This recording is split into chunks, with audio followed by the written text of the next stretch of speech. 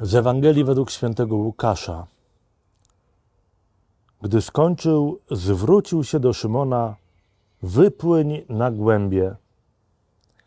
Niektórzy z Was pewnie pamiętają, że e, te słowa wypłyń na głębie stały się dla Jana Pawła II tytułem jednego z najpiękniejszych dokumentów. Wypłyń na głębie. Wydawałoby się, że to bardzo proste, praktyczne polecenie Jezusa.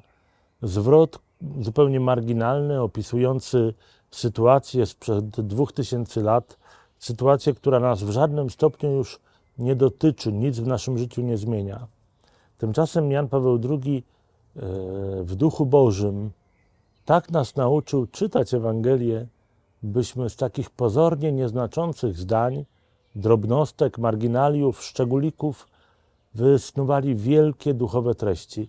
Tak jak on to zrobił, gdy powiedział: Wypłyń na głębie, oznacza zachętę do tego, by całe swoje życie uczynić y, jakimś, jakąś pogłębioną świętością, jakimś poszukiwaniem duchowej, Bożej głębi w sobie.